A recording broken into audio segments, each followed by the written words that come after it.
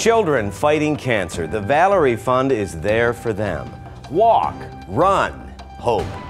We can fight childhood cancer and blood disorders together, one step at a time. Join us for the Valerie Fund Walk and JAG Physical Therapy 5K run on Saturday, June 9th at Verona Park in New Jersey. Visit cbsnewyork.com slash Valerie Fund for details. Register today and take it from me. You really can make a difference.